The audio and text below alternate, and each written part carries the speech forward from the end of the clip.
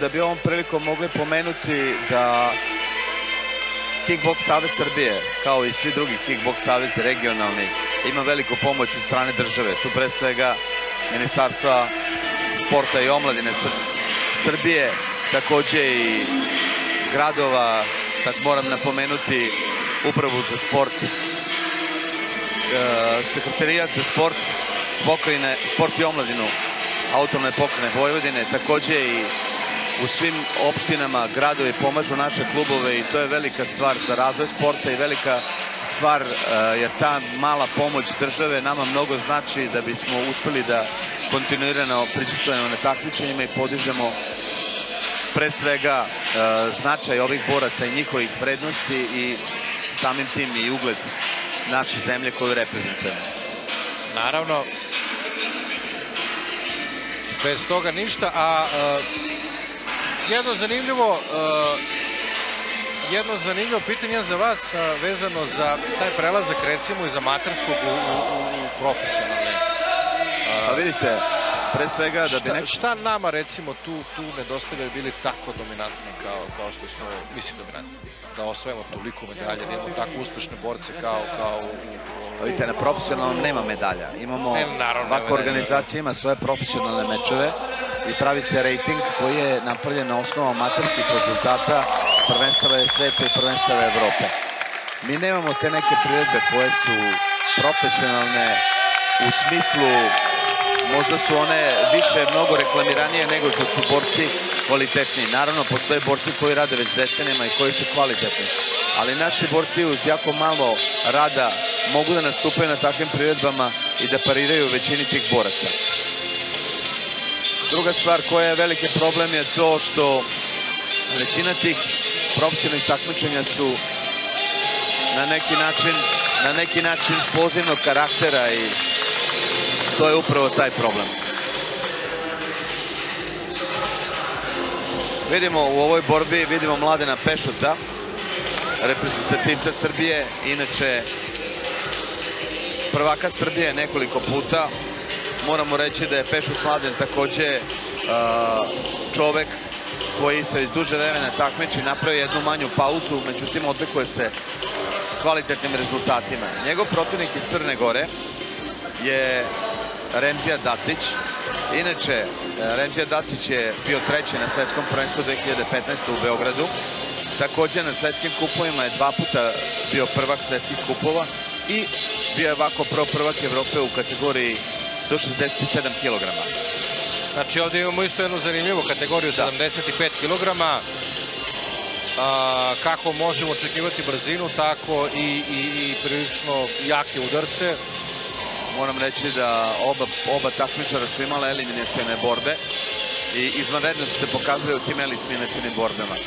Ono što treba napomenuti u uglu takmičara Mladena Pešuta, inače iz kickbox kluba Crvena zvezda, su pre svega Dragan Jovanović, naš višestruki prvak osvajač međunarodnih medalja, svetski prvak i evropski prvak u amaterskom kickboksu Dragan Jovanović, takođe drugi sekundant je Nena Ćelap, takođe bivši reprezentativac i čovek koji je ranije takmičio se u kategoriji do 63,5 kg, bio prvak Balkana, prvak Mediterana, sada radi kao trener u klubu.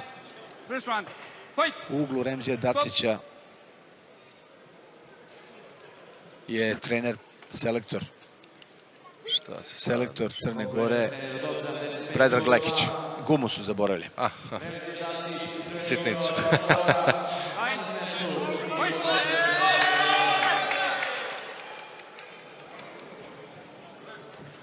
Dakle, još jednom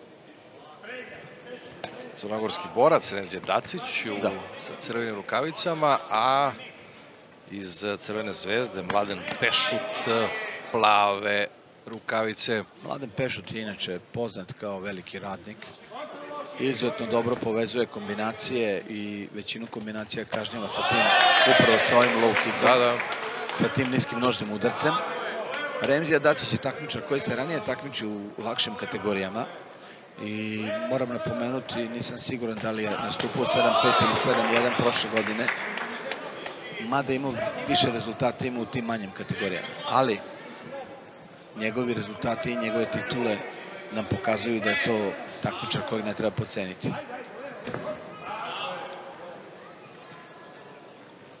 Naravno, ovde sada imamo neko pa, pripavanje snaga, neko odmaravanje. Nijedna, jedan konkretan, nap, konkretan napad nije došao. Pa vidite, isključujući ona dva low kicka koje je Mladen čisto zadao, evo sad je ovo jedan čist low kick koji je primjen sa unutrašnje strane stopala, sa unutrašnje strane Butina.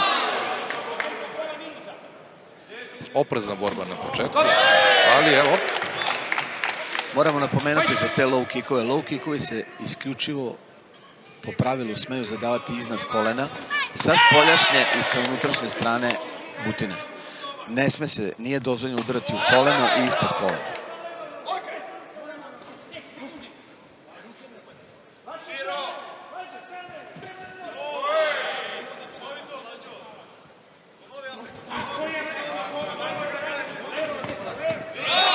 evo još jedno. Obojica borca su da. oprezni. Vrlo, vrlo oprezni, snaga da, i da.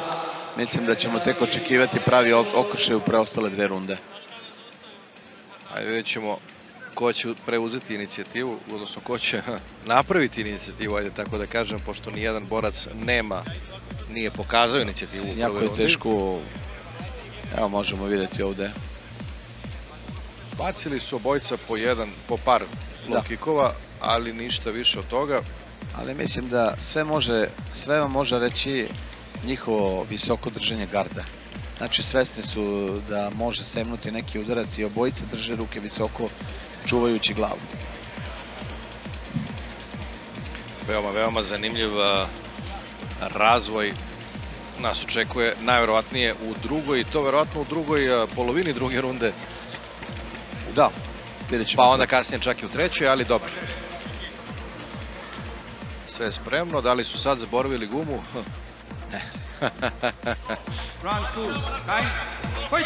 Nisu i evo idemo. Mislim da ćemo vidjeti malo konkretnije borbe u ovoj rundi. Videli ste da je oba su počela malo jače. Evo, demantovali su nas odmah. Stop! Rasplamsalo se od starta na naše zadovoljstvo. Sjajno veče ovde, gospodine Jotiću. Nadam se da uživate koliko i ja. Naravno, kako da ne bi poživao, moramo reći i pozdraviti ljude koji su ovo organizovali i koji su pomogli ne samo, ne mislim na organizacijani deo, nego mislim uopšte i na ljude koji su pomagali vezano za tehničku podršku, tako da veliki napor veliki napor učinjen da bi ovo funkcionisalo i izgledalo lepo. Ali ono što je važnije, vidimo da ovde obojica pokušavaju mnogo konkretnim udarcima doći do prednosti. Evo, dobro. Dobro, kombinuje ovde sada naš borac. Evo sad, malo malo neoprizno i malo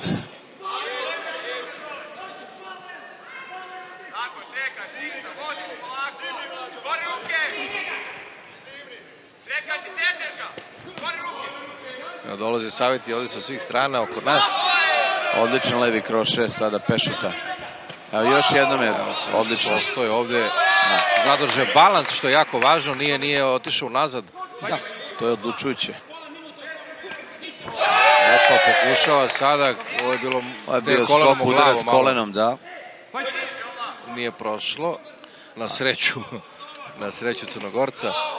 Samo mora da se mladen pazi. Opa, su Da otvoren. Ovo upravo sam hteo da kažem. Mora se pazi ovim napadima da ne bude otkriven. Jer upravo tako je jednu borbu završio Remzija Dacić u eliminacijama. Takmičar je za trenutak se otkrio, međutim Remzija ima jak udarac. Oh. Još jedan udarac, boga mi. Da Idemo dalje Pešuta koštalo ovo, ovo pa kako sada nazovemo ovaj, ovaj uh, finiš uh, ove runde. Kako da ne? Nadamo se da će se oporaviti. možda je hteo malo da se napravi važan. Ajde Ne, tako da ne, kažemo. ne Ne, bih, nekako, ne, ne znam kako da, da Ne, nazovem ne, ne. tu neopreznost. Mislim, Više neoprezan je bio. Mladen je izuzetan čovek i kao osoba je izuzetno pozitivan i to uopšte ne spada u njega kao Pa osobu. ne, ne mislim važan pred protivnikom. Pre je nego neoprezno, evo onako- sad ćete vidjeti ovde kombinaciju. I obratite pažnju sada koliko je otkriven mladen prilikom ovih zadavanja udaraca. Sve više se otkriva. Evo, to je ovaj prvi bio... Ha, Samo treba držati ruke gore i vodio je do ovoga knockdowna u čini mi se da je bio konkretniji u serijama, međutim Remzi Dacić je izuzetno iskusan takmičar. mislim da se vratio u meč u potpunosti i da će ova treća runda zapravo odlučiti Da. odlučiti pobednika. Prvu rundu ne, pa, manje više ne možemo ni da Moramo napomenuti da da je Remzija Dacić mnogo iskusniji po pitanju međunarodnih takmičenja od Mladena Pešuta i bojim se da to ne donese prevagu u ovom meču, ali vidimo. Evo je odlučujuće runde. Mladen Pešut e, i Remzija Dacić. Opa, evo prošao i ovaj, probio je, probio ovde blok e, kod ovog krošeja, ne u potpunosti naravno, ali ali dovoljno da oseti Pešut. Pešut sad pokušava zaustaviti napade tako što će držati protivnika, ali ako to nastavi, mislim da će sudija opomenuti. sada. Odlična kombinacija. Dobro je ovo bilo sada. Otvorilo se sada sve, minut, manje od minut i po do kraja. Oba puta je Mladen pogodio levim krošeom i zadnjim low kickom. Evo, to je opet ista ta kombinacija. Opa, ide, ide sad, Čist video je, zadnji kružni udarac u telo. video je da Mladen je dobio još jedan udarac sada. ovo da sad se otvorilo. Kako, kako je počelo zatvoreno, sada se, sada se obrnuto proporcionalno To su- završava. To su takmičari kategorije do 75 kg i vidite sa kakvom silinom oni zadaju udarce i to su izuzetno snažni udarci. Evo, čist back fist je prošao. Udarac rukom iz okreta. Mladen mora samo držati ruke i zadržati kontrolu. Dobro, prošao i ovaj udarac Pešuta, Dobra kombinacija. Mladen bije i Remzija. Ali Mladen vraća, pokušava. Odlična kombinacija. Poslednji sekundi sada. 15 sekundi i manje od toga. Evo, poslednji pojeni se sad prikupljaju. I to bi otprilike bilo to.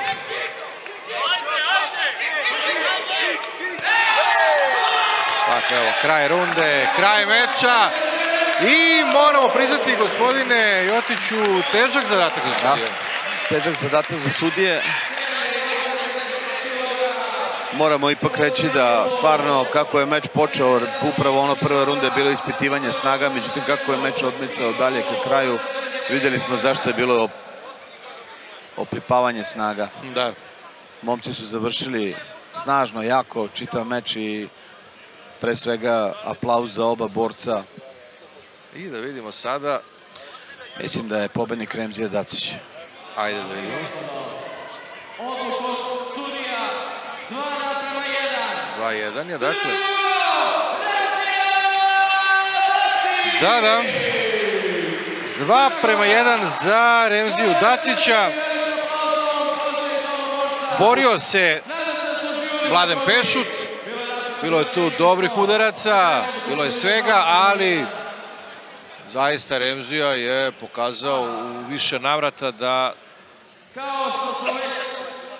da je ipak to iskustvo međunarodno, kao što ste rekli, gospodine samom početku bilo presudno. Malo je bio konkretniji pri za, za, zadavanju udaraca, ali oba borca su izvanredno odradila meč i pokazala stvarno maksimum. broj Šteta za Pešuta, ali dobro, ima još prilike, bit će... Evo, po, proglasit će najboljeg borca, ja mislim. A, evo sada i Mislim da će to biti Remzija Dacić iz Crne Gore. koji Reci je- Dacića, evo sada legende, evo Semija Šilta,